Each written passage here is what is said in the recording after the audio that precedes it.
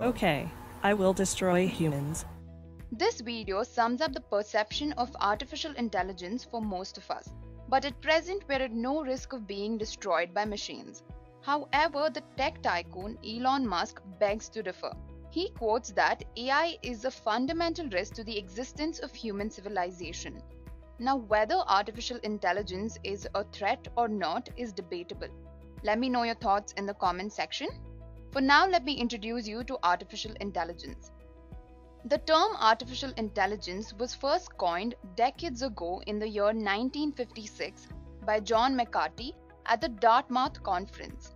He defined artificial intelligence as the science and engineering of making intelligent machines.